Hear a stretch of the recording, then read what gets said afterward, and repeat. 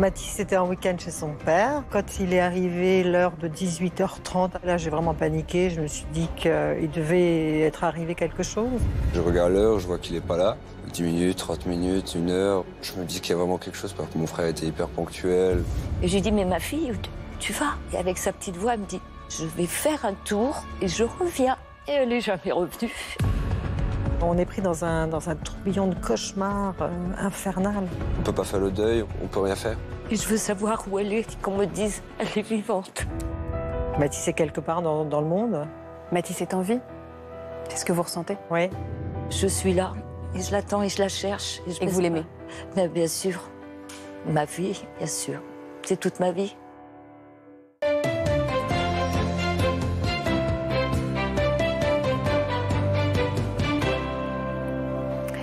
Bonjour Nathalie. Bonjour. Merci beaucoup d'être avec nous aujourd'hui. Le visage de votre petit garçon, Mathis, est très familier pour la France entière. Mathis a disparu le vendredi 2 septembre 2011. Ça fait six ans que chaque jour, vous vous demandez euh, où il est aujourd'hui. Que, que s'est-il passé ce jour-là, ce fameux 2 septembre, Nathalie? Mathis était en week-end chez son père. Euh, on était dimanche soir. Euh, il devait revenir à la maison vers 18h. Je me suis inquiétée assez tôt parce que le papa de Mathis était très ponctuel. Et euh, quand il est arrivé l'heure de 18h30 à peu près, là j'ai vraiment paniqué. Je me suis dit qu'il devait être arrivé quelque chose. Euh, parce que c'était le premier week-end qu'il avait de nouveau en, en garde. Dans quel état d'esprit il était allé chez son papa ce week-end-là? Il voulait pas y aller. Il avait eu très mauvais, euh, très mauvaise expérience avec son père suite à, à des, des, punitions qui étaient complètement euh, improbables. Il voulait pas y aller. Oui. Et euh, j'ai essayé de lui, faire, de lui dire qu'il fallait euh, faire confiance, que sans doute que son père avait dû réfléchir depuis et que ça allait bien se passer. Vous l'aviez convaincu d'y aller Ouais. Mais euh, je ne m'attendais pas du tout à ça. hein. Et c'est pour ça que j'étais inquiète, parce que je savais qu'il y avait des choses qui étaient compliquées. Et voilà. Et 18h30, euh, je me suis dit, on va au commissariat. C'est pas la peine d'attendre plus longtemps. Euh, Quelqu'un était resté à la maison au cas où Mathis reviendrait entre temps. Mais euh, moi, j'étais persuadée que. J'étais déjà persuadée qu'il était arrivé quelque chose. Vous étiez déjà persuadé Ouais. Votre instinct vous a dit que Ouais. qu'il lui était arrivé quelque chose ou que probablement vous ne le reverriez pas? Ah non, pas du tout. Je ne savais pas du tout ce qu'il en était. Tout était probable avec M. Joanneau. Donc, on peut s'imaginer plein de choses. La seule chose qui, qui m'a fait aller au commissariat, c'est qu'il fallait que les choses soient prises très rapidement en, en charge.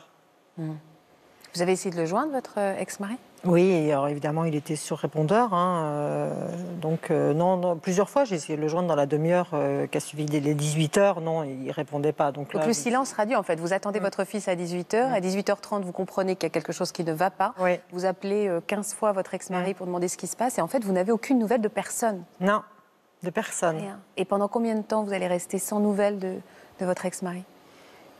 Euh, jusqu'au euh, jusqu'au mercredi soir. Pendant trois jours, Ouais, trois jours. sans savoir où est votre fils? Alors, ouais, sans savoir. de 6 ans. Ouais, Vous C'est devenez- terrible. Vous devenez dingue. oui, complètement. On devient dingue. C'est-à-dire que on est au commissariat, on signale, le lendemain on y retourne, le surlendemain, non, le lendemain on y retourne. On géolocalise le portable de Monsieur Joanneau dans le bas de la France. Donc là, on revient précipitamment à la maison pour se dire on part dans le sud de la France pour euh, être là euh, et faire les recherches en même temps que les policiers. Vous l'appelez Monsieur Joanneau, votre ex-mari? Ça, ça m'arrive de temps en temps. La preuve? Ouais, Pour le garder à distance? Ouais, complètement. Donc euh, on part précipitamment, on prend un avion, on descend dans le sud, euh, on cherche toute la nuit, euh, on géolocalise le portable, il remonte en Normandie. Enfin, c'est, c'est une course folle contre, pour, retrouver, pour retrouver Matisse. On est pris dans un, dans un tourbillon de cauchemar infernal. C'est infernal. Alors, on va revenir sur tous les détails de votre histoire, mais juste aujourd'hui, votre ex-mari, Monsieur Joanneau, a été arrêté. Oui, Il est en prison. oui. Il est incarcéré en prison. Il, a, il, a- il, a- il- il va purger 20 ans de peine. Pour l'enlèvement de votre Oui. fils? Seulement, il ne vous dit pas où il est? Non, il veut absolument rien dire. C'est euh, Rien du tout c'est un donne- silence total. Vous savez que lui, il sait Oui, Donc lui, il sait où est votre fils. Oui. Mais il vous dit pas. Non. Mais vous savez, j'y pense plus à ça. Pourquoi vous y pensez plus? Parce que ça m'use et, et ça m'épuise. Donc autant que je passe à autre chose et que je m'occupe de retrouver Mathis plutôt que d'essayer de faire parler mon ex-mari. Parce que pendant combien de temps vous avez essayé de le faire parler? Jusqu'en 2015, le jour de- du procès d'assises. Pendant quatre ans? Ouais. Et puis ça vous met dans un état impitoyable, quoi. Moi, j'étais dans, dans- dans des états, quand je ressortais, c'était... euh, j'étais même plus humaine. C'était, c'était une douleur euh, affreuse. Plus humaine? Ouais, C'est une douleur animale? Ouais. D'une mère à qui on a arraché son enfant. Mais oui, c'est ça. On est, on est comme une lionne, vous savez, comme les... On essaierait par tous les moyens possibles et imaginables de le faire parler. Même les plus monstrueuses, en fait. On va revenir sur, encore une fois sur toute vo- votre histoire, mais aujourd'hui, vous, vous vivez donc dans l'espoir de retrouver Mathis. Vous mettez toute votre énergie à le retrouver. Ouais. J'ai pas changé. La- cette motivation n'a pas changé depuis que Mathis a disparu. Jamais. Votre intuition de maman, elle vous dit quoi? Mathis est quelque part dans, dans le monde, ou je sais pas. Mathis est en vie? C'est ce que vous ressentez? Ouais. Il est quelque part. Après, moi, c'est c'est ma conviction personnelle. Oui, hein. C'est ce que je vous demande en fait. Après, euh, après, je veux peut-être pas entendre l'autre euh, l'autre version des choses. Vous n'ouvrez peut-être pas la porte à celle-là? Non, pas pour le moment, non. Alors on va aller rejoindre maintenant nos autres invités. Oui. Ils ont des histoires euh, assez, assez différentes, mais les interrogations et la souffrance est la même. Venez, on y va. Merci Nathalie.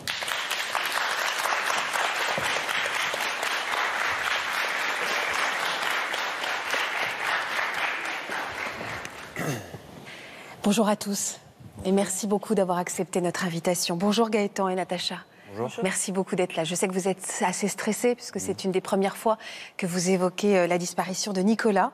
Vous êtes euh, son frère et sa sœur. Il a disparu le 10 décembre 2011 à l'âge de 23 ans. Est-ce que je peux vous demander pourquoi vous avez accepté aujourd'hui de témoigner et de parler de Nicolas qu'on voit sur la photo? On a, on a accepté de venir parce que déjà à titre personnel, j'en ai jamais parlé jusqu'à aujourd'hui. C'est quelque chose, j'ai jamais réussi à parler de ça. Vous en éprouvez le besoin? J'en éprouve le besoin, oui, j'en éprouve le besoin et c'est quelque chose qui n'arrive pas à sortir et je me suis dit que ça serait peut-être plus facile ici ou enfin j'en savais pas trop. Mais voilà, si on peut avoir un espoir, si on peut, si on peut encore espérer, ben C'est pour ça que vous êtes là. exactement. Le besoin d'en parler. Natacha non plus, vous n'en parlez pas? Pas beaucoup. Pas beaucoup. Quand tous on les, parle, deux, tous les deux entre vous, vous en parlez pas? Non, on n'en a jamais parlé euh, Non, quasiment. auprès du...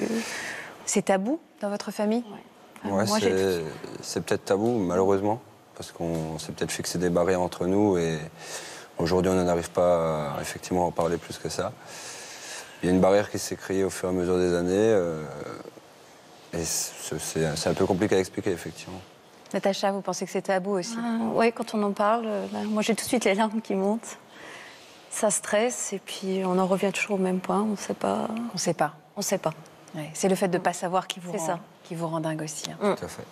Je vous présente Annick et Michel. Bonjour Annick et Michel. Merci beaucoup d'avoir accepté également notre invitation. C'est votre fille, Annick, qui a disparu mystérieusement il y a tout juste un an. C'est très récent. Votre fille s'appelle Vanessa.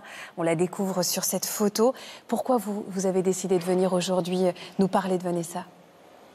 Ah, moi déjà pour euh, je- si elle est quelque part, déjà qu'elle me voit et puis qu'elle m'entende et que je me bats pour elle et pour la retrouver. Et c'est- important, c'est de savoir que si quelqu'un, euh, on lui transmette que je suis là. Que vous l'attendez. Et que je l'attends. et je l'attends et je la cherche. Et, je Et que vous l'aimez. Ben, bien sûr, ma vie, bien sûr, c'est toute ma vie. Voilà. Euh, donc vous allez nous raconter tout ça. Je voudrais d'abord aussi vous présenter Marc Gégère qui est à, qui est à vos côtés aujourd'hui, maître. Merci beaucoup d'être avec nous. Vous êtes avocat pénaliste. On a une idée du nombre de personnes qui disparaissent par an, enfants, adultes compris? Les statistiques sont difficiles à donner parce que justement, on ne sait pas faire le tri entre ce qu'on appelle des disparitions volontaires et des disparitions inquiétantes. Et, euh, mais c'est plusieurs centaines de personnes, voire plusieurs milliers de personnes Milliers par de an. personnes. Oui, oui, tout à fait. Qui, que l'on ne retrouve plus pour des raisons diverses et variées. Parce que, euh, effectivement, ce qui est difficile à comprendre, on, on a le sentiment que dès qu'on va se présenter dans un commissariat ou dans une gendarmerie en disant un de mes proches a disparu, tout de suite on va mettre. Alors que non. Mais non, parce que euh, On les a le gens droit ont de le droit de disparaître. On a le droit de disparaître. Les gens ont le droit de, du jour au lendemain de ne plus donner aucune nouvelle. Et c'est ce qui fait que euh, les services enquêteurs vont, dans un premier temps, se poser la question de savoir si ce n'est pas une disparition volontaire, si ce n'est pas une disparition beaucoup plus dramatique, parce que parfois les gens disparaissent pour aller se donner la mort aussi, et qu'on ne les retrouve pas. Donc tout ça est très compliqué. Et pour les familles, c'est insupportable. Parce que euh, quand une famille se rend euh, dans un commissariat ou une gendarmerie, c'est que eux, ils connaissent la personne qui est partie. Et on se trompe rarement euh, quand on vient vous dire c'est inquiétant parce qu'on sait euh, elle allait très bien, il n'y a pas de problème, euh, elle ne voulait pas partir. Là, là, ça devient très compliqué à vivre pour les familles. Alors justement, c'est pour euh, donner la parole à ces familles qu'aujourd'hui on, on a préparé cette rencontre. Je voudrais qu'on parle un petit peu de Matisse. Euh, Nathalie, quel genre de petit garçon est Matisse? Était, parce qu'aujourd'hui c'est un, un- un jeune homme, il a 14 ans aujourd'hui. Oui, oui, oui. Mathis, c'est un petit garçon adorable. Adorable. Enfin, je- il est avec nous, en tout cas, quand il était dans notre, de notre côté, dans notre cellule familiale à nous, il était adorable. Euh, à chaque fois qu'il revenait de week-end avec son père, et on mettait toujours euh, deux, trois jours à le recadrer. Il était euh, agressif. Même à l'école, hein, euh, souvent Ouais. on avait des, des petits soucis d'agressivité avec les autres enfants. Qu'est-ce qui se passait là-bas en fait chez son père qui le rendait agressif? Vous ne savez pas. hein? J'ai pas toujours, je pense que j'ai pas tout su, en tout cas. Les deux seules choses que j'ai su euh, et que j'ai découvertes, euh, bah, je le savais, mais euh, il a fallu que je mette ça au grand jour quand même. C'est qu'il avait puni Matisse euh, tout un week-end pendant deux jours sur une chaise à lui faire copier des lignes. Donc bon. Vous sentiez qu'il y avait quelque chose qui n'était ouais. pas. Moi, je tendais le doigt à chaque fois qu'il allait chez son père. Vous étiez très mal tout le week-end quand Ouais. vous saviez qu'il allait là-bas. Ouais. Il m'avait démoli psychologiquement quand même, hein, pendant quatre années de, de vie commune. Donc euh, j'imaginais euh, qu'il euh, qu'il, euh, qu'il faisait un peu la même chose avec Matisse. Vous dites qu'il vous a démoli. Quel genre d'homme c'était avec vous, Nathalie? Bah, vous savez, quand, euh, un, quand, quand un conjoint est malade psychologiquement euh, et que vous ne savez pas ce qui se passe, il avait une emprise sur moi. Il avait quand même une très grosse emprise sur moi. C'était toujours lui, lui, tout le temps lui. Enfin, euh, euh, j'avais pratiquement jamais rien à dire, quoi. Donc. euh, Il était ce qu'on appelle et un puis ces phases de, de dépression, ces phases de, de je suis leur roi, ces phases. Enfin, c'était difficile à gérer. C'était extrêmement difficile à gérer.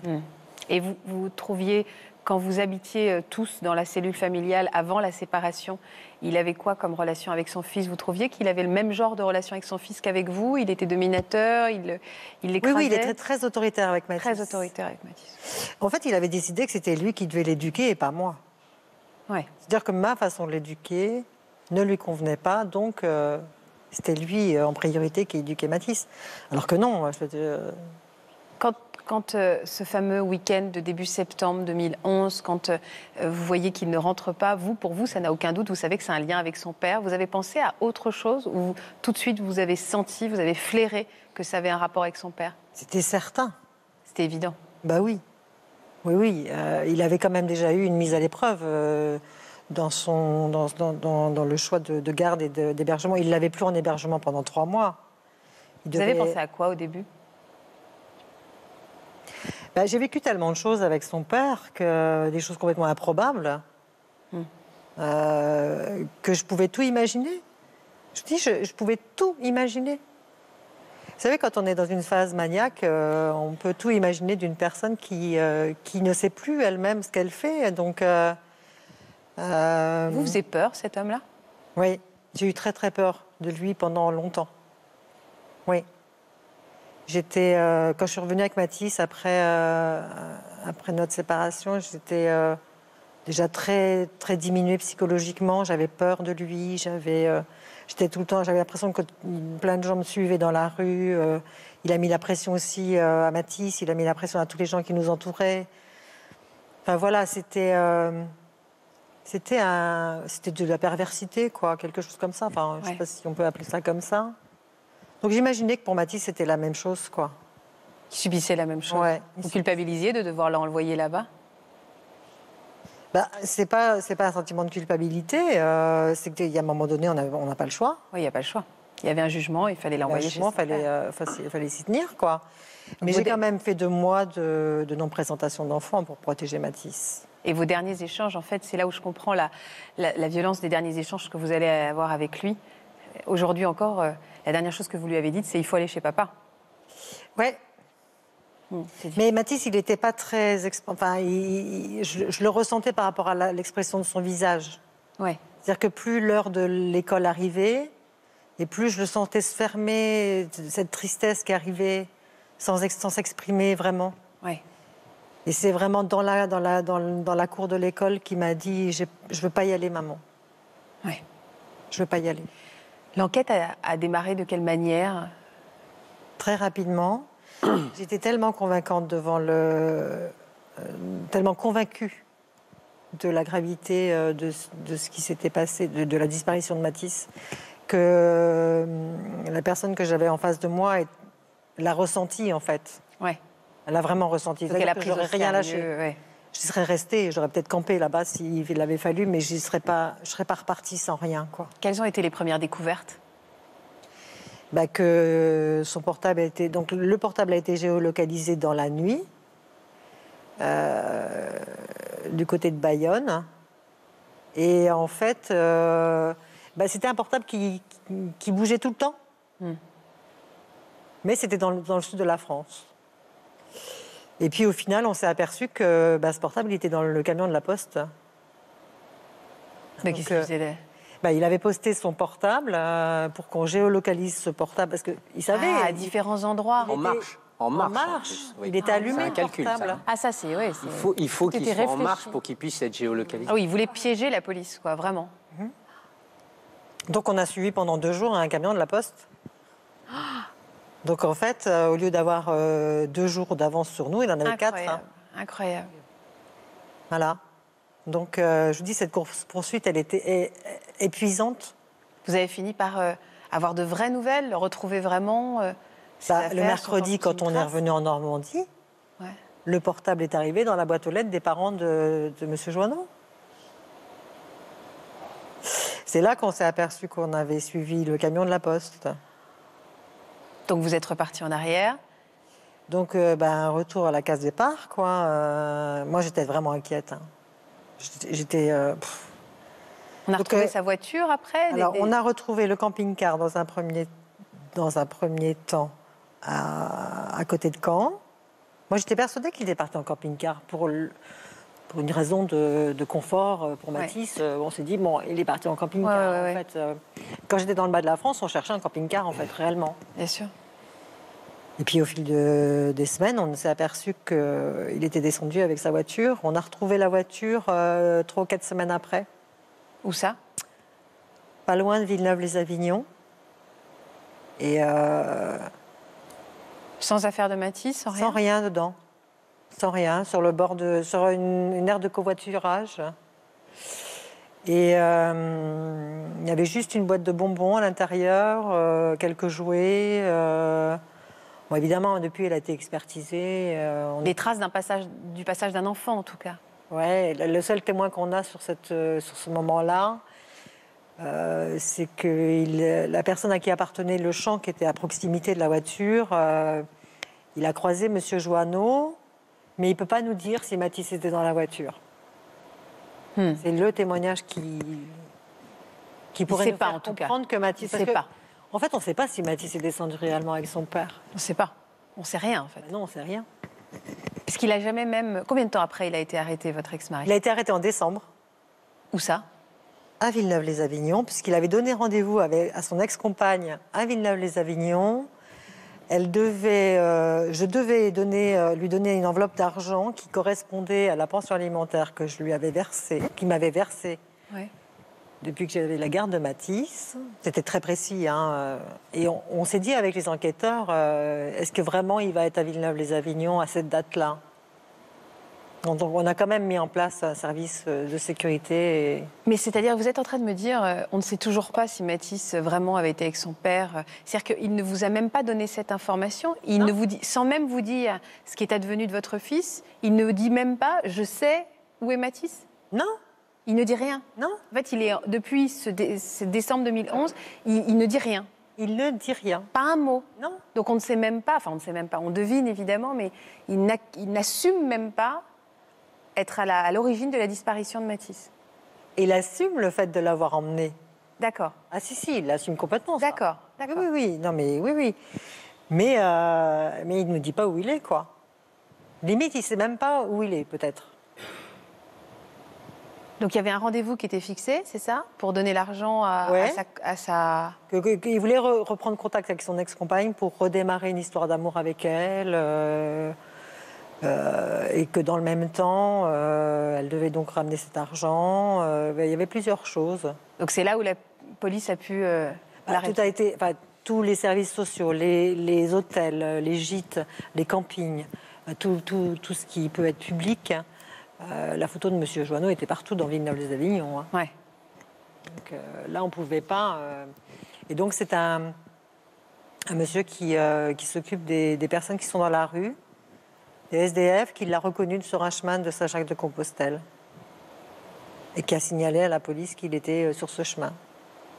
Donc, il a été arrêté euh, le 19 décembre euh, 2011.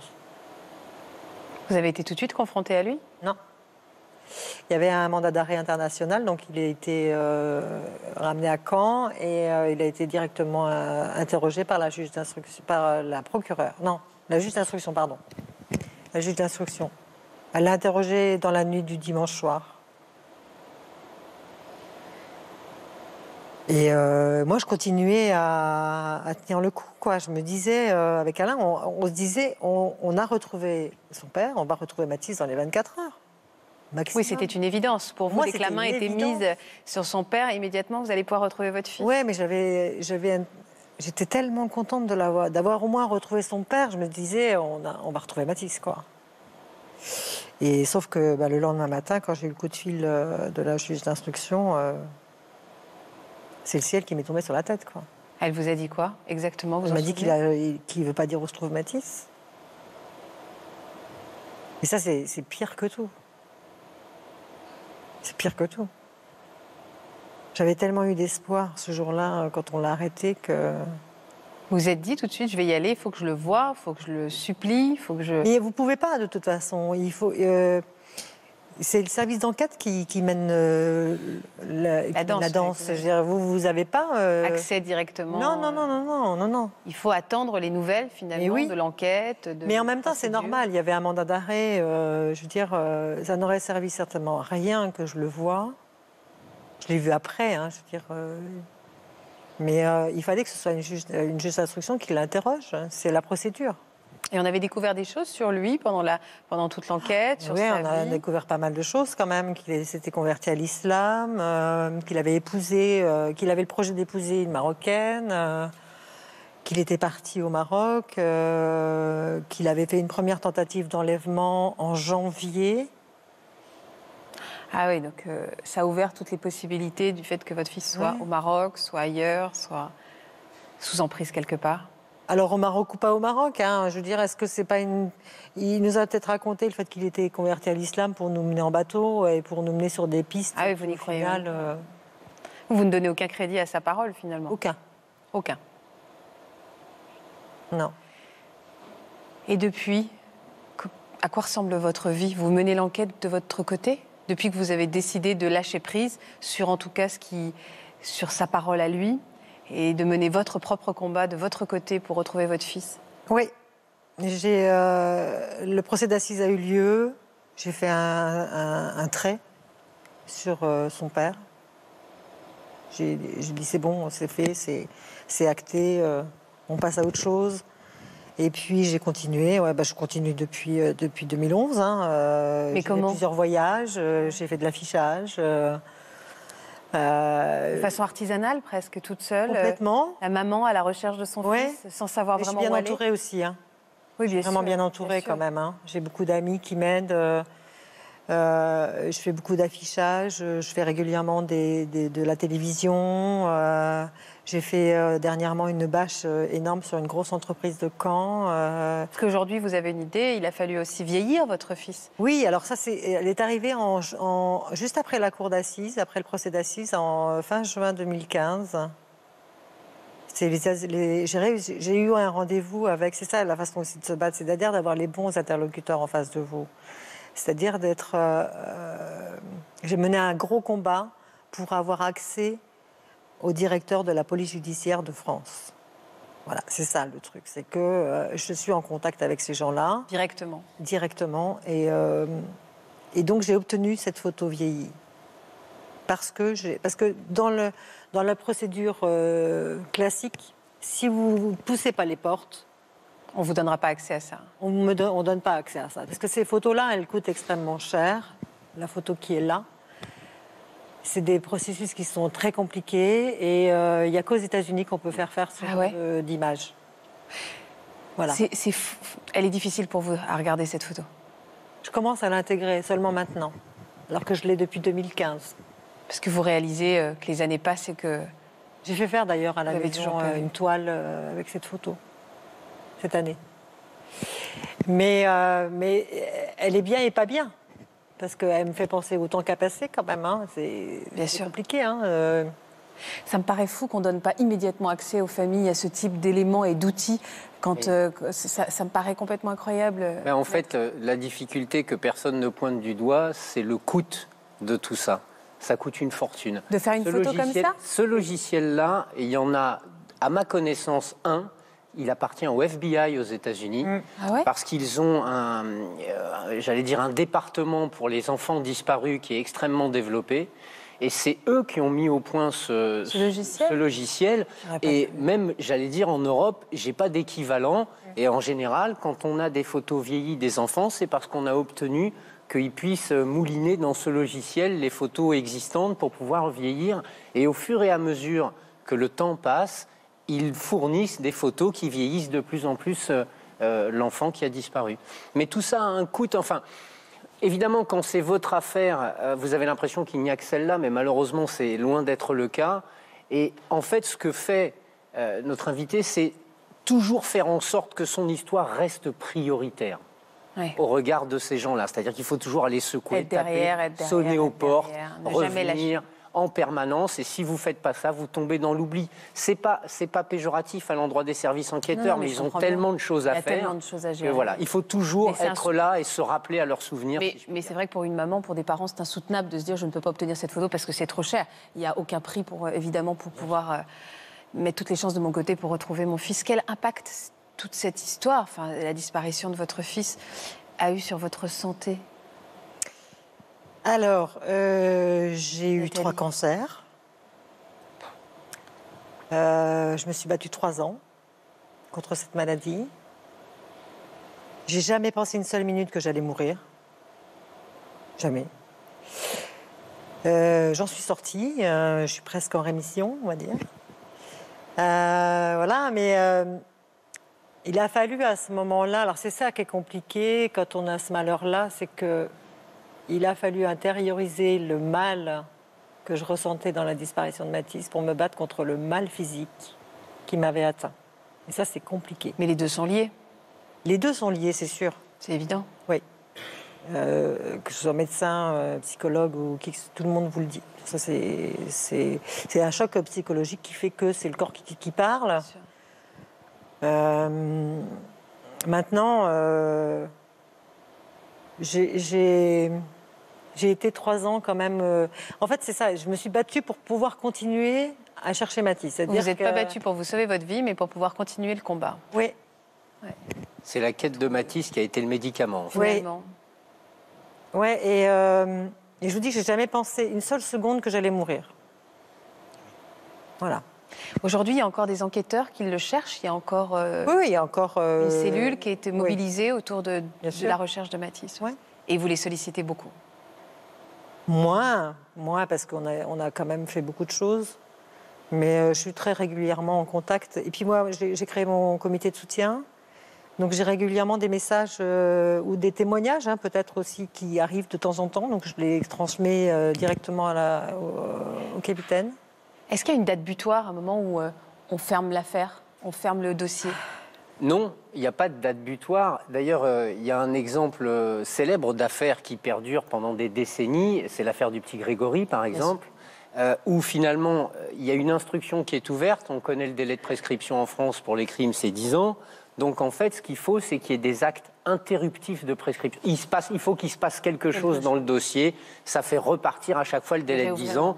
Et c'est la raison pour laquelle, quand on est en instruction, on peut laisser perdurer comme ça les choses. Là, c'est pareil. Tant, que on est en- euh, tant que cette disparition euh, n'a pas trouvé de solution, quelle qu'elle soit, eh bien, on peut poursuivre. Après, c'est sûr que les effectifs se réduisent au fur et à mesure, mais on perdure quand même. L'enquête pour retrouver Nicolas est toujours, euh, est toujours ouverte? Non, aujourd'hui, l'enquête est fermée depuis, officiellement. Et pour quelle raison on vous a dit on arrête? Ça a été arrêté pour euh, faute d'un- faute d'indice. euh, Une voie sans issue? C'est ça. Effectivement. Oui, oui, mais ça veut dire que le moindre élément nouveau euh, fait réouvrir évidemment l'enquête, c'est ça. Il ne faut pas penser que parce qu'une enquête pour l'instant est fermée, Non. que c'est terminé, qu'on n'investiguera plus jamais. C'est- Mais il faut qu'il y ait un élément nouveau qui permette de relancer cette enquête. Ça, mais depuis, il n'y a pas eu le moindre indice. C'est pour cela que. Comment vous réagissez au témoignage de Nathalie que vous écoutez tout à l'heure? Je vous sens très. J'étais vraiment, vraiment pris dedans, très, vraiment bouleversé. Parce que, effectivement, ça touche et Évidemment. C'est pas pareil. Mais voilà, chacun a son histoire. Mais effectivement, ça, ça touche. On se retrouve dans beaucoup de paroles. Et voilà, je, je retrouve beaucoup ma mère. euh, dans- Exactement, dans- exactement ma mère, qui a vécu beaucoup de choses, beaucoup de difficultés. mère qui n'est pas là aujourd'hui parce qu'elle aussi, elle est atteinte d'une grave maladie, un cancer aussi. Elle a, elle a eu un cancer. Aujourd'hui, elle a pro- plusieurs problèmes physiques Hmm. qui font qu'elle n'a pas pu se déplacer, malheureusement. On pense très fort à elle, j'imagine C'est pour qu'elle ça nous qu'on est venu là aussi évidemment. parler pour elle. On est venu parler pour elle. Mais effectivement, voilà, je retrouve beaucoup ma mère dans les, dans les paroles là. Qu'est-ce qui s'est passé? Vous pouvez nous raconter le jour de la disparition de Nicolas? Alors, euh, le jour-là, j'étais, euh, je l'attendais comme euh, tout le week-end qui rentrait. C'était quelques jours avant Noël. hein. Ouais, c'était ça. C'était c'est le 9, dé- le 9 décembre 2011 exactement. Donc euh, j'habitais avec ma mère et il rentrait toujours les week-ends parce qu'il était en école. Et donc j'attendais le samedi. euh, il avait prévu de faire l'après-midi avec moi. On, on devait aller faire des courses. Et on profitait pas forcément toujours de- d'avoir des moments à deux à ce moment-là. Donc je sais qu'il était vraiment content de, de faire cet après-midi avec moi. Et j'attendais j'étais vraiment content aussi. Avec son grand frère. À cette époque-là, il avait 23 ans. C'est ça. Et vous, vous en aviez Moi j'avais 19 ans à ce 19 ans. moment-là. Donc c'était un moment de complicité fraternelle qui était prévu. c'est ça. Effectivement, bon, on était les deux frères, euh, comme deux frères peuvent être ensemble, comme toujours. Et euh, je me rappelle encore comme si c'était hier, j'étais couché sur le canapé et je regarde l'heure, je vois qu'il n'est pas là. 10 minutes, 30 minutes, une heure. euh, je me dis qu'il y a vraiment quelque chose parce que mon frère était hyper ponctuel, euh, il était organisé, il avait prévu. et même, il m'en avait parlé à l'avance, il était vraiment content de passer cette journée avec moi. Et plus les heures passent et plus je m'inquiétais vraiment avec ma mère, on était tous les deux. Et effectivement, plus, plus la journée passait, plus on se posait des questions. euh, assez- c'est- C'est dur d'en parler. Mais euh, voilà, effectivement, c'est. Vous avez pensé à quoi, vous, au début, justement, quand vous avez vu qu'il n'était pas à l'heure? Quelles ont été les premières choses, les premières pistes? Pas, pas qu'il puisse disparaître, mais je me suis tout de suite inquiété parce que je, sais- je sais très bien que c'est pas lui. C'est, c'était quelqu'un de timide, euh, timide, très proche, très très proche de sa famille. Euh, je me suis tout de suite dit qu'il y a quelque chose, que c'est inquiétant, qu'il y a C'était pas son genre, quoi. pas du tout. Il n'aurait pas posé de lapin, c'était quelqu'un de... Il était organisé, il nous prévenait. S'il y avait du retard, il l'aurait dit. euh, Et voilà, je savais tellement que effectivement cette journée, ça comptait pour lui et que pour moi, ça me faisait plaisir aussi. Qu'il y avait quelque chose. C'était pas normal. C'était pas normal. Pas du tout. Vous, vous êtes la grande sœur, Natacha, hein, Oui. des deux? Oui? Quand vous avez euh, constaté, en effet, que- enfin, j'imagine Gaëtan que vous avez appelé euh, votre famille, votre sœur, en vous étonnant du fait que voilà, il était toujours pas là. Euh, vous êtes rendu chez lui à ce moment-là? Euh, non, on, on a attendu, on s'est tenu au courant, on se téléphonait. Et le soir, on devait fêter l'anniversaire donc de notre neveu qui Ouais. fêtait ses un an et d'une cousine qui fêtait ses 18 ans. Et Nicolas, ben, il, était, il était très famille, donc il aurait Il jamais pas raté loupé, ça, ouais. non, Il jamais pas raté raté l'anniversaire, non, c'était pas possible. Et du coup, on s'est rendu, on s'est rejoint donc à l'anniversaire chez ma tante. Et là, toujours pas là. On attend, on attend. Puis bon, on attend, on n'attend plus trop longtemps. Ma mère et moi, on va voir là où il habitait, à Bichevillers. Et Dans son appartement? Dans son appartement, bah, malheureusement, on n'avait pas les clés. Alors, vous l'avez fait ouvrir par. euh, Ah, pas tout de suite. Donc le jour même, on, on s'est rendu là-bas. On a regardé dans les rues, euh, les rues voisinantes, les- sa rue. Il n'y avait pas de voiture. Ouais. On est monté, il n'y avait, il y avait rien. Donc euh, ah, on a marché dans les rues et puis on ne savait plus quoi faire. On est rentré. Vous étiez jeune, vous, à l'époque, hein, en plus. hein. Ouais, très, très jeune et pas prêt à ça du tout. Bien sûr. Euh, on était- dans notre famille, tout se passait bien. On n'a jamais eu avant ça de, voilà, de problèmes ou de plus graves problèmes de santé que ça. Et effectivement, je me... c'est pas que je comprenais pas, mais je réalisais pas du tout encore au moment-là. Et effectivement, effectivement ça, ça change les personnes et ça. Effectivement, à 19 ans, on n'est pas prêt à une chose sûr. pareille. Et c'est la sœur de votre maman, Nathalie, qui va prendre les choses en main un petit peu, qui va rendre les choses et cette disparition plus officielle. Nathalie, elle est là. Je vous invite à venir nous rejoindre, Nathalie. Merci d'être avec nous.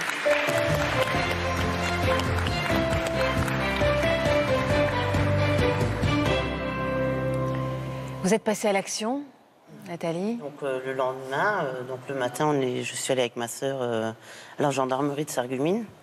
On a déclaré la disparition et là ils nous ont dit bah, qu'il fallait attendre 48 heures. 48 heures avant Voilà. que ça soit inquiétant, parce qu'il a voilà, le droit il de était disparaître. majeur, voilà.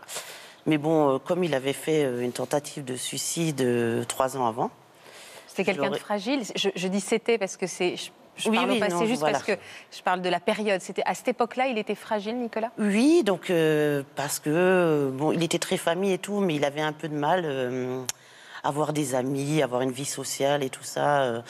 Et il avait suivi des études euh, de, c'était un BEP euh, logistique, et transport.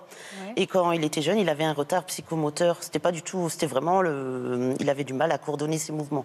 C'était quelqu'un très intelligent, mais et ce qui fait qu'il avait peut-être pas choisi la bonne filière. Il n'arrivait pas à s'intégrer. Quand il a travaillé, il était en alternance. Donc quand il a Il travaillé, avait en- un, un mal-être qui s'était installé. Voilà. En tout cas, il n'était pas forcément à la bonne place. Voilà. euh, Et il s'était pas trouvé. Voilà, donc il trouvait pas de travail et tout ça. Et c'est vrai que nous, derrière, mon père aussi, on l'a un peu poussé. On se disait, il serait temps que voilà et tout.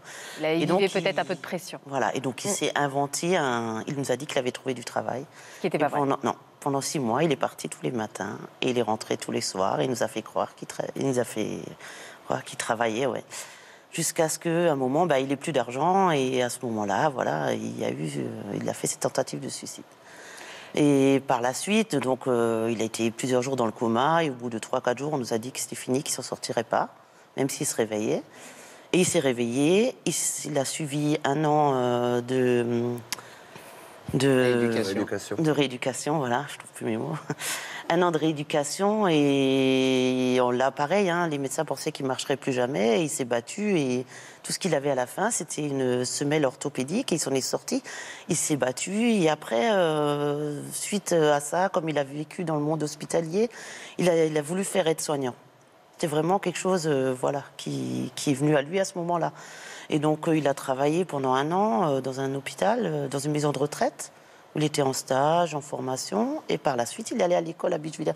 C'est pour ça qu'on comprend pas bien, parce qu'à ce moment-là, tout allait beaucoup mieux dans sa vie. mieux pour lui, il s'était battu pour ça, il avait trouvé quelque chose qui lui correspondait, et Il avait réussi son concours. voilà, il avait réussi son concours. euh, moi et ma sœur, on est allés voir à l'école, euh, la police aussi. Vous avez parlé tout de suite de cette tentative de suicide, de son passé un peu compliqué Oui, mais ce qui nous a permis que ça passe en disparition inquiétante. Très vite. Ouais, bah, le jour Ils même. pas attendu Ah, très bien. 48 Et heures. vous Ouais. avez pu avoir accès alors à l'appartement à ce moment-là? Bah, voilà, donc euh, on est parti, euh, les gendarmes nous ont dit de partir sur Bichevillers, on a expliqué. Donc euh, là, on est, ils ont appelé le procureur qui a décidé de passer en disparition inquiétante. Bon, on était déjà allé voir l'appartement avant. hein, Alors, il y avait quoi un- dans cet appartement? Bah, il y avait, euh, il y avait, il avait fait le sapin de Noël, il y avait les cadeaux donc pour ma fille qui avait anniversaire et, Donc, il n'y avait aucun et pour signe, son euh, neveu. Non, il avait les cadeaux, le papier emballage. Il manquait rien Rien, toutes ses affaires étaient là. Toutes ces affaires. Ouais, à part son portable euh, Son et son ordinateur. Voilà. Et donc euh, voilà, donc euh, on a fouillé l'appart, euh, mais on n'a rien trouvé. Et, Donc après, l'enquête a commencé, et puis là, il en est ressorti que bah, la veille, il avait déjà appelé euh, le vendredi, il avait appelé euh, l'école pour leur dire qu'il viendrait pas, qu'il avait une gastro. Et donc, euh, lui, nous, il avait dit qu'il rentrerait le samedi que l'après-midi parce qu'il avait un cours le samedi matin. Apparemment, ça, c'était pas vrai. Et donc, euh, on a découvert qu'il est parti le samedi en voiture, qu'il avait tiré de l'argent avant. Ça, ils l'ont vu. Ils l'ont vu, lui, à la caméra, euh, qu'il avait tiré les sous. Il a tiré quelque chose comme 200 euros et il est parti. Euh, ils ont, son portable, il s'est connecté à Dijon à 9h et quelques du matin. Et sa voiture, elle a été retrouvée 15 jours plus tard à la gare de Lyon, avec un ticket datant du 10, donc du jour euh, où il n'est pas rentré. Voilà. Et, mais ce qui, ce qui nous paraît bizarre, c'est qu'il n'a rien emmené, il n'a pas emmené plus d'argent. S'il avait voulu disparaître volontairement, Il aurait pris suis quelques dit, affaires Voilà. pour vous. Un minimum au moins. Et Ouais. Surtout, voilà. Il a vraiment rien pris. Non, La- trace, vous l'avez perdue, Gare de Lyon. En fait. Gare de. Lyon. ouais. Regarde, Gare de Lyon. Lyon. C'est le dernier Ouais. pas avec sa voiture. Là. Après, il y a, par la suite, il y a une jeune fille qui est venue témoigner, euh, qui était avec lui à l'école, à la gendarmerie, comme quoi il aurait gagné un voyage, euh, un voyage de surprise où il fallait partir les yeux bandés. euh. Mais bon, ça, voilà. Mais, euh, il aurait gagné où euh, Non, c'est sur Internet, apparemment. C'est c'est une, c'est une piste et une fausse une piste, piste en même temps. fausse piste. Ouais, vous n'y que- croyez pas trop à cette histoire Non, c'est pas parce que Nicolas avait tendance, voilà, il aurait bien aimé, comme hum, des fois, il avait tendance un peu à fabuler pour euh, nous montrer qu'il avait euh, Pour se donner un peu la vie qu'il aimerait avoir, voilà, pour- ouais. et je pense pour nous faire plaisir aussi. Oui, peut-être. il Ouais, voulait- ouais, pour euh, Et, et depuis, vous avez eu d'autres pistes, d'autres Rien. indices Depuis, il n'y a plus jamais eu le moindre indice. Non, une fois, il y avait eu un PV, mais c'était une fausse piste parce que un an après, euh, sur son compte en banque qui était bloqué, euh, le Trésor public a réussi à, se faire payer une amende. Et c'était une amende sur la voie de circulation. Donc on a tout de suite contacté la gendarmerie, mais en fin de compte, c'était euh, une amende sur le parking parce qu'il avait laissé sa voiture, le parking étant considéré comme une voie de circulation. Donc. euh, Donc depuis cette, euh, voilà, cette, c'est-à-dire cette fin de parcours euh, à la gare de Lyon, vous n'avez aucun signe, non. Aucun jamais- indice. Non. Jamais eu le moindre indice. euh, Voilà. c'est- Et est-ce que, comme Nathalie, vous avez décidé du coup de mener vos propres recherches Euh, Vous avez vous-même fouillé, vous avez des, des convictions euh, Parce que, bah, pour, pour expliquer, euh, ma mère a engagé un détective privé. ouais. Plusieurs, même. plusieurs détectives privés, parce qu'effectivement, euh, du fait qu'on n'avait pas le moindre indice, au bout d'un moment, bah, l'enquête s'est terminée. Il y avait, après, on pouvait même pas en vouloir, entre guillemets, à la police. Il n'y avait aucune piste à mener. Il n'y en avait rien, on ne savait pas vers où aller, on, on, on- on- on naviguait dans le vide. Donc voilà, ma mère, c'est un peu... La puissance, c'est insoutenable. hein. C'est ça, c'est ça le plus dur, parce qu'on a une impuissance depuis le début, on peut, on peut rien faire. Moi, je, je me rends souvent euh, dans le coin là-bas. Pourquoi, je sais pas. Pour me dire peut-être qu'il y a un miracle, peut-être qu'il y, a- il y a quelque chose, ou même c'est inconsciemment que je dois le faire. Mais effectivement, non, on ne sait pas vers où aller. Et, c'est, Ça vous hante, hein, ce point d'interrogation vous et ça reste en nous. Il y a pas, on peut pas. Je peux pas dire on peut faire le mot, on peut pas faire le deuil, on peut pas penser quelque chose, on peut rien, on, on peut rien faire. On- Son portable, il n'y a plus rien eu avec. Non, euh, il Il s'est y a jamais jamais rien eu. ni compte. portable, ni. euh, ni ni en banque, ni quoi que ce des. soit. Il a- oui. Il avait de l'argent sur le vraiment compte la en dernière banque, il n'a plus jamais tiré d'argent. hein. Il avait sa carte sur lui. Et vous, en fait, c'est ce que, je comprends quand j'écoute votre histoire, c'est la, la pesanteur de ce point d'interrogation, qui est même à tel point que vous, c'est devenu un tabou dans votre famille. Vous n'en parlez pas pour pas remuer les Ben, souffrances, Nathalie? Après, euh, c'est vrai que Brigitte, euh, leur mère, elle, elle a du mal avec. euh, à- Après, c'est peut-être familial. Mon père était déjà comme ça, à pas trop exprimer. C'est une Bon, manière moi, de je- ne pas se faire du mal les uns aux Oui, autres. Voilà, Est-ce qu'elle elle a envie d'en parler alors qu'elle va mieux en ce moment? Alors est-ce que je vais envie de lui reparler de mes inquiétudes Et c'est ça, Ouais, donc chacun fait, protège euh, les autres. C'est une carapace parce qu'elle Oui, peut c'est- pas supporter plus, je pense. Voilà. Ah. Après, on se voit régulièrement, on est toujours ensemble, Oui, on- fait des fêtes de famille, on s'amuse, on voilà, de temps en temps en fin de soirée, ça sort, voilà. Elle pleure, mais je trouve de plus en plus rarement aussi. hein. Il y a au début, elle m'appelait, elle m'a appelé plusieurs fois en hurlant la nuit où je suis allée. Et on la ça-. Voilà, et après, ça dure dix minutes et puis elle me rejetait, quoi. hein. Puis au début, on se posait euh, des questions. Qu'est-ce qui a pu se passer? Est-ce qu'il est séquestré quelque part? Oui, elle, Est-ce que ça? ouais. Mais bon, là, on sait même plus quoi penser après. Vous arrivez à construire vos vies, vous, de jeunes hommes, jeunes femmes? Construire, euh, oui, oui, on est- on n'a pas le choix. Il faut, faut avancer, il faut construire notre vie, mais ça reste, euh, ça reste un poids en soi qui est, qui est vraiment dur au quotidien.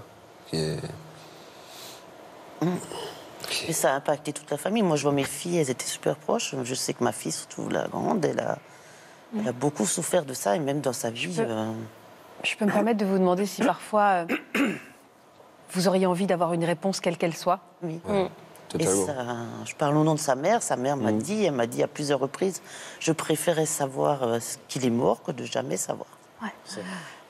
Parce Totalement. que euh, elle, elle s'imagine tout. Elle m'a même dit que chaque jour, quand elle se réveille, euh, elle se remémore toute sa vie. Elle se demande qu'est-ce que j'ai pas fait de bien? En plus, il y a ce côté de la culpabilité.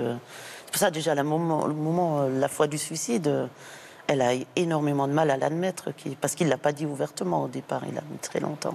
Vous pouvez pas faire votre deuil de quelqu'un qui n'est peut-être Ben pas mort et vous ne pouvez pas avancer euh, avec ce silence et cette absence. Ouais. C'est ça qui est le plus dur parce que, on dire, il y a. Même la nuit, on en rêve souvent. On se dit qu'il est là, qu'il est nouveau là. Et du fait, un rêve, en fait. du fait qu'on n'a pas de réponse, ben, On se rend compte finalement que ça peut choquer ce qu'on va dire, mais il y a pire que la mort. Il y a le fait Ouais. de ne pas Pour savoir. eux, c'est tout imaginer. Imaginer qu'ils souffrent tous les jours, imaginer peut-être tout ça. Et on ne se rend pas compte à quel point finalement, à un moment donné, pour votre Non, cas, peut-être que la mort devient une délivrance. Parce que je saurais oui. et que je saurais qu'il ne souffre pas. Voilà, Et je pourrais faire mon deuil et- exactement. et vivre mon chagrin. avancer. Parce que, bah, comme dit, on a, on a perdu notre grand-père qui était euh, un peu le pilier de la famille il y a quelques années aussi. C'est arrivé juste après. Six mois après, ouais. Voilà, six mois après. Et je vais régulièrement me recueillir sur le cercueil. Et bah, je pense toujours à mon frère, mais c'est compliqué parce qu'on ne peut pas se dire je prie pour lui parce qu'on n'a pas de réponse. Mais ouais, c'est ça qui est, C'est dur. qui est très très dur. Il y a une, pareil, c'était un cancer foudroyant et six mois après, je pense qu'il y a un lien aussi quelque part, euh, voilà, parce que mon père était très. euh, il y a une actualité récente qui s'est passée euh, Et oui. avec l'affaire Maëlys dans la région euh, justement de Lyon. Ça vous a fait vous poser des questions aussi? Ouais. D'ailleurs, on a décidé avec euh, ma sœur d'écrire une lettre au procureur parce qu'on s'est dit Lyon, c'est vraiment pas loin. C'est peut-être une toute petite probabilité, mais bon. Vous voilà. avez raison de le faire. Mm. Vous avez raison de le faire, même si euh, aujourd'hui, c'est vrai que l'histoire de Nordal Lelandais euh, est tellement inquiétante qu'elle qu'elle pose question à tous les gens qui ont un être cher qui a disparu, parce que quand on voit les deux victimes connues qui n'ont rien à voir l'une avec l'autre, on peut imaginer que c'est effectivement peut-être quelqu'un qui est un prédateur. Euh, ce qu'il faut, c'est effectivement montrer qu'il peut y avoir, il peut y avoir une similitude de lieu à un moment donné entre votre frère, votre neveu, et le parcours de cet homme. Mais ce que je peux vous dire, c'est que actuellement, il y a déjà des services enquêteurs qui euh, font des investigations très poussées pour retracer l'intégralité de son parcours à lui. Et pour faire des liens avec les différentes Et il, évidemment, s'est confronté avec chaque personne disparue. Euh, Je sais que dans le Midi où je réside, il y a euh, deux enfants, euh, un petit Lucas qui a disparu déjà depuis des années. Et là aussi, les questions se posent, véritablement. Mais je retiens aussi ce que vous disiez tout à l'heure à, à Nathalie, euh, écrire, euh, maintenir la pression, euh, rappeler qu'on est là pour que, pour que Nicolas ne tombe pas dans l'oubli et que son... Et que, Oui, absolument. Parce que parfois, il, peut, il, il- il manque rien, si je puis dire, pour passer à côté. Donc euh, c'est vrai qu'il faut, euh, c'est il pour faut ça insister. surtout que je voulais faire cette lettre parce que je me dis c'est peut-être une toute petite probabilité, Mais maintenant ça, que j'y pense, je me le dis euh, si je le fais pas, ça Ah va oui. me trotter dans Ah la bah, tête toujours et je vais me dire que je suis peut-être passée. euh, A- Avant de, de nous intéresser au- à l'histoire de Vanessa, je vous pose la même question qu'à Nathalie tout à l'heure. Votre intuition, à vous Je crois euh, très fort aux, aux intuitions des fratries aussi. Mon intuition, euh, effectivement, comment dire, euh, on était deux frères vraiment euh, très proches, donc euh, il y, a- forcément un lien et je, m'imagine tout, mais j'ai toujours un espoir, j'ai toujours un espoir, mais en connaissant mon frère, en, sachant comme il est, j'ai toujours peur du pire, même si je le souhaite pas, mais après peut-être, je me dis que ce serait mieux que ça que son esprit soit en paix, que, que voilà. Mais effectivement, c'est cette part de doute qui permet aujourd'hui, là, presque sept ans plus tard, de ne pas pouvoir donner un vrai avis. Et c'est, Bien sûr. c'est, c'est fait- c'est effectivement, c'est, Natacha, C'est vous partagez pas cette même intuition? Oui, enfin, il était très influençable et ça me fait peur qu'il. Vous craignez la mauvaise dans un- rencontre ouais, Dans forcément. un piège, ouais. La mauvaise rencontre, c'est, À part ça, je vois pas d'autres. euh, c'est ce qu'on craint le plus parce que on va dire que c'est bon, pas peut-être influençable, mais effectivement un, un petit peu. Et il aurait pu faire une mauvaise rencontre ou avoir confiance en quelqu'un qu'il fallait pas. Avoir confiance en quelqu'un. hein. Ouais. Je voudrais qu'on regarde différentes euh, euh, photos de Nicolas euh, aussi parce que cette émission est aussi là pour peut-être euh, voilà ouvrir des portes aujourd'hui à l'heure avec des réseaux sociaux et avec la puissance de la télévision aussi c'est important de revoir ces photos et évidemment n'hésitez pas à contacter si vous avez des voilà si ce visage vous est familier récemment n'hésitez pas voilà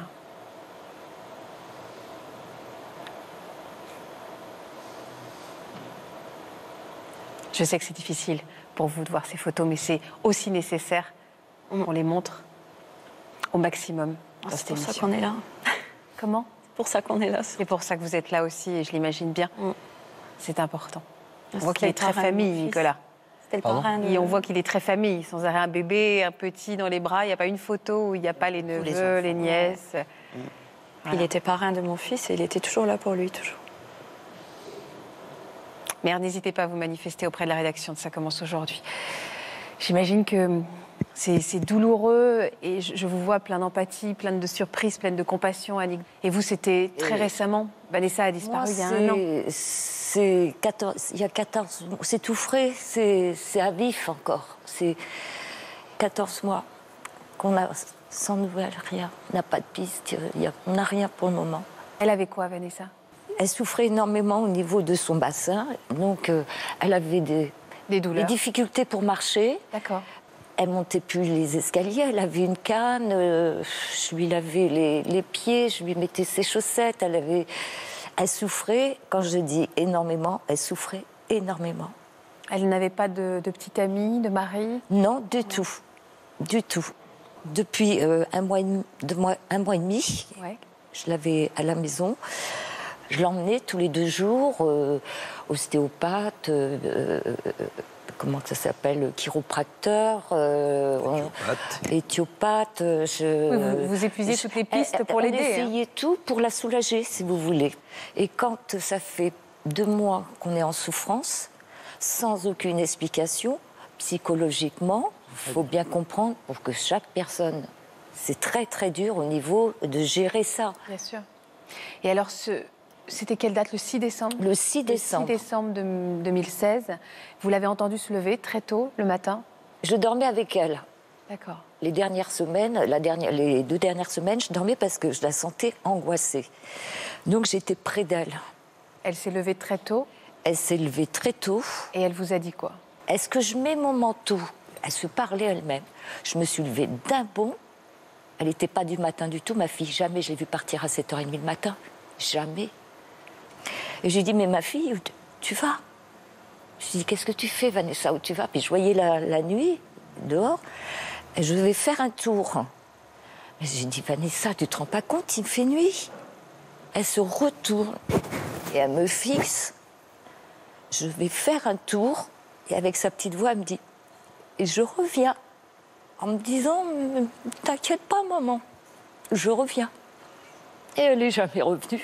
Elle s'est volatilisée devant, devant la maison. Et j'ai attendu. On n'a pas perdu de temps parce que deux heures après, on avait tout de suite pris la voiture pour essayer euh, de voir où est-ce qu'elle était partie, de quel côté. J'ai appelé tout de suite la police. Les gendarmes étaient chez moi aussitôt, sachant qu'elle était souffrante. Donc euh, là, ils ont pris ça très, très, très au sérieux.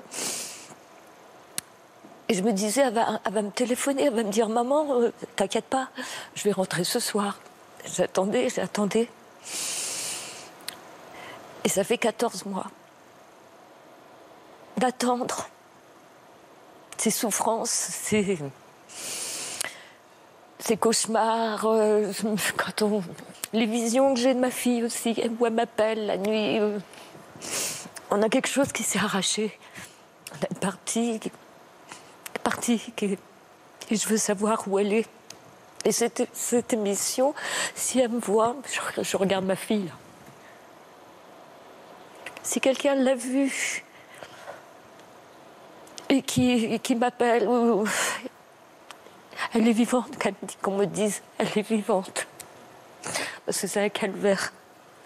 Vous savez, il y, a quelques, il y a encore quelques années, il existait une procédure qui était euh, une procédure qui permettait, sans qu'il y ait d'enquête véritablement, sans qu'il y ait d'infraction, de mettre en mouvement euh, les services enquêteurs. C'est ce qu'on appelait les recherches dans l'intérêt des familles.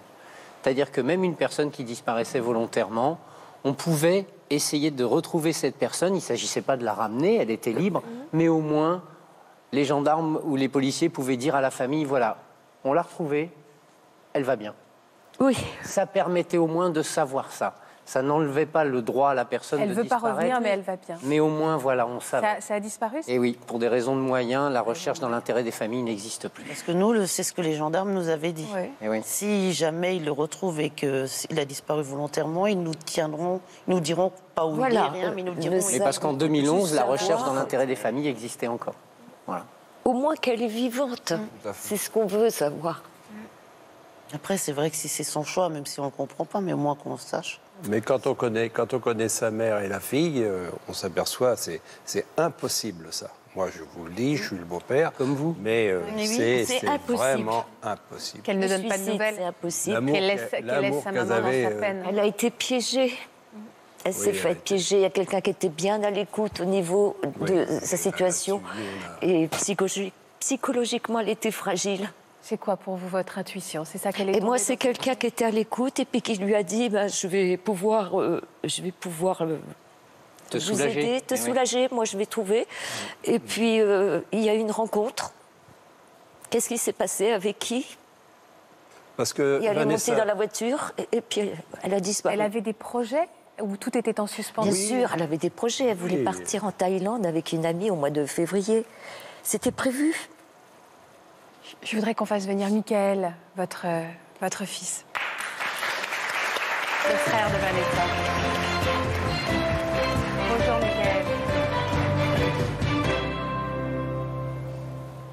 Bonjour Michael, merci d'être là. Vous aussi, c'est important pour vous d'être ici aujourd'hui pour ouvrir toutes les portes possibles pour retrouver votre sœur Oui, bien sûr, oui. Ben oui, pour qu'on. Si ça peut nous aider dans, dans la recherche. euh, puis vu que là, c'est national, euh, bon, Qu'est-ce qu'a dit l'enquête Qu'est-ce que- qu'est-ce qu'a donné cette enquête Ben, Pas grand-chose, hein. Pas grand-chose, c'est comme si elle s'était volatilisée. hein. Ils ont vraiment euh, aucune piste.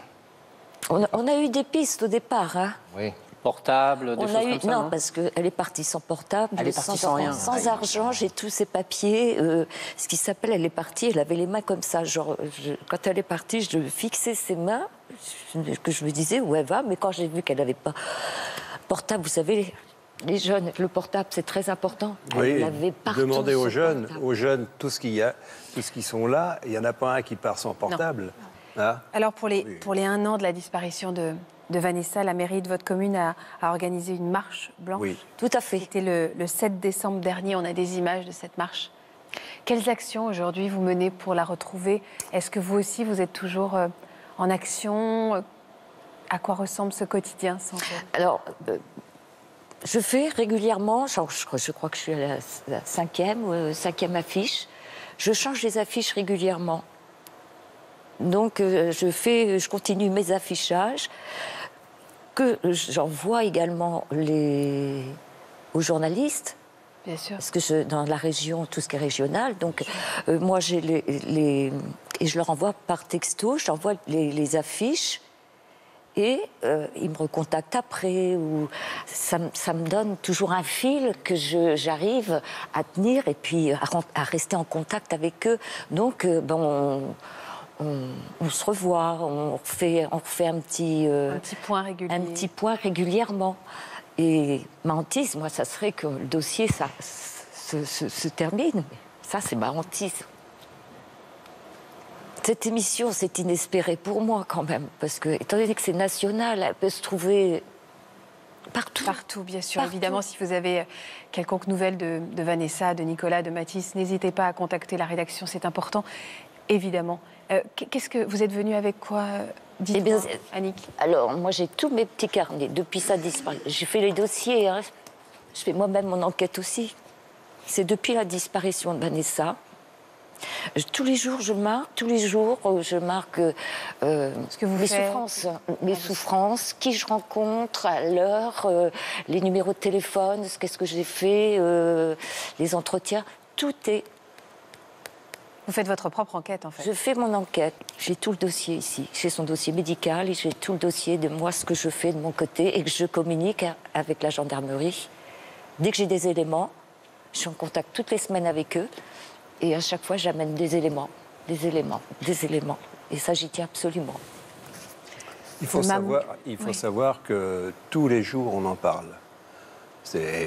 On en parle tous les pas jours. toutes les minutes, mais euh, faut- toutes les heures. On y, et puis on y pense tout le temps. hein. C'est euh, euh, aussitôt qu'on est un peu libre, euh, qu'on n'a personne autour, et bien à un moment donné, ça revient tout le temps.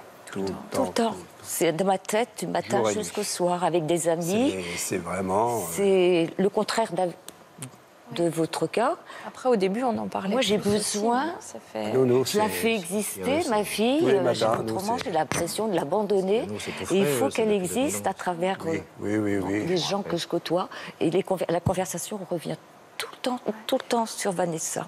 On arrive toujours à trouver des petites, des petits- des petites choses à dire. C'est- Nous, au départ aussi, on en parlait. On, moi, la, Besoin de première faire vivre, semaine, bien euh, sûr. Je suis restée avec, on est restés Oui, ensemble. Je me suis mis en arrêt maladie. Je suis restée oui, bien sûr, ça, ça se Et tout, et on en parlait. euh, mais au fur et à mesure, je pense que. Oui, le temps, le On revient temps, toujours c'est sur la même cool, euh, chose. Voilà, et à un moment, euh, je sais pas, on a peut-être senti que c'était trop dur les uns pour les autres et on a eu tendance peut-être à pas vouloir commencer la conversation pour Oui. pas dans la soirée. Surtout quand il n'y a plus rien à dire, parce que tout a on été dit et qu'on n'avance et on pas revient et qu'on toujours au tourne même en rond et point et qu'on devient fou à force. Voilà. On n'ose plus, même avec nos amis. j'ai euh, la sensation que, euh, au contraire, vous le osez temps plus voir vos amis parce que vous avez envie de parler plus d'elle. la et que- souffrance Parce que je sais que. Ah oui, j'ai mal. Moins en moins d'espoir. C'est normal, elle pense qu'à- que je me dis peut-être que à, un moment donné ça, ça va peut-être un petit peu ça, ça s'atténuer et puis Non, ça, non, euh, ça- et plus ce, ce- Plus le temps passe, plus l'inquiétude grandit. Exactement. Moi, mes amis, Dans un euh, premier temps, et ils n'osent pas en parler. souffrance, Ils n'osent pas me demander. Attendez, pas tous en je suis à vif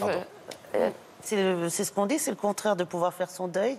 Ouais. Oui. son deuil, on sait, on, il nous faut un certain On temps, peut on passe par avancer. des étapes et on, la Et- douleur reste là, mais c'est pas pareil. Et ce que dit Michel est fort, on n'ose plus aller chez nos amis parce qu'on sait que voilà, Voilà. Annick va en parler, Voilà. donc on ne veut pas euh, sans arrêt être ceux qui, entre guillemets, allons remettre hein, une histoire dramatique au, au milieu d'une soirée, donc on s'isole et on tourne en boucle, et, et voilà, et c'est important de parler aussi. On embête tout le monde, là, on le sait. euh, C'est. Parce que, la, parce que la vie, c'est autre chose. C'est- La vie, c'est pas ce que, ce que vous et nous, on vit, parce que c'est c'est pas normal ce qu'on vit là. Vraiment pas normal. Je vous entends écouter religieusement depuis tout à l'heure les histoires, Nathalie. Euh, Qu'est-ce que ce combat d'une autre maman vous inspire? Vous vous reconnaissez? Oui, complètement. Complètement. Il faut juste essayer euh, de pas. Alors, avec les années, c'est vrai que moi, j'ai quand même appris beaucoup de choses, euh, de- à la fois psychologiquement, physiquement, et, et- et la façon d'aborder les choses aussi avec les, les amis ou la famille. oui. Euh, faut pas, faut, faut être attentif au fait de ne pas se laisser envahir, de ne pas se laisser enfermer, vous savez, dans, dans l'histoire que vous vivez. Parce que ça va vous isoler des autres. C'est ce que je fais Oui, oui, bien sûr. Et, Ah, et le fait que. C'est le problème de ma femme. Euh, Moi, que je- je après, chacun le vit complètement différemment suivant les tempéraments. hein. Euh, voilà, moi, j'ai ce tempérament-là, voilà. Mais c'est compliqué la relation aux autres. C'est vrai, c'est vrai. Je, je reconnais que la première année c'est compliqué. Moi, c'est dur. Mais il y a un moment donné où vous allez vous poser la question est-ce que je me suis pas enfermée dans Moi, c'est la question que je me suis posée à un moment donné. Hein. Euh, Je pense est-ce que je me suis pas enfermée dans mon histoire? Je pense que c'est un conseil que vous donne Nathalie. Juste un conseil. hein. Moi, j'ai pas. euh, pour votre survie aussi à vous. Oui, Je voudrais en tout cas qu'on regarde à nouveau les- ces, ces trois photos de, ces, euh, de Mathis, de Nicolas, de Vanessa. On pense évidemment très fort à eux aujourd'hui. Si vous avez des nouvelles, des pistes, un, voilà, un visage familier, une interrogation, n'hésitez pas. Aucun, voilà, aucun indice ne doit être mis de côté. Je, vous remercie infiniment pour votre confiance. Merci infiniment euh, d'avoir euh, justement euh, osé mettre des mots sur tant de souffrances. Parce que Marc, tout à l'heure, a commencé en disant qu'il y a des milliers de personnes qui disparaissent chaque année. Et on voulait justement donner la parole à, vous, les familles, puisque c'est vous qui souffrez en premier. Merci à tous pour votre, votre attention. Merci Marc. Vous allez retrouver Daphné Burki et toute sa bande dans Je t'aime, etc. dans une minute. Je vous embrasse. Vous aussi, venez témoigner dans Ça commence aujourd'hui. Jamais vous n'auriez pensé avoir une fête des mères cette année. Les médecins pensaient que vous étiez stérile et pourtant vous êtes tombée enceinte et vous venez d'avoir un bébé. Vous vous êtes récemment réconcilié avec l'un de vos enfants. Si vous êtes concerné ou si vous souhaitez poser des questions à nos experts, contactez-nous au 01 53 84 34 20 ou par mail ou sur le Facebook de notre émission.